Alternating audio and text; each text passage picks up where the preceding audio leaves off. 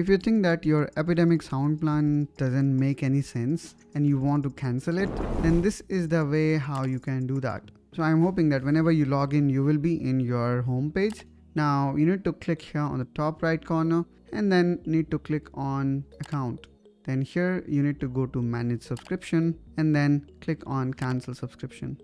Now here you need to go down and click on continue and then you can click on anything. Maybe you can say other region. And then you say um, would you consider subscribing? You can say i'm not sure. And then you know it will be cancelled.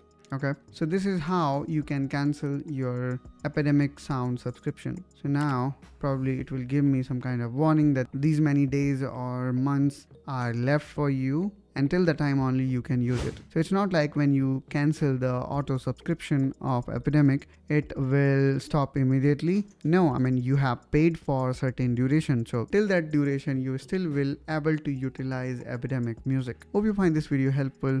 If so then make sure you subscribe to us and i will see you around in the next one. Till then you take care and bye bye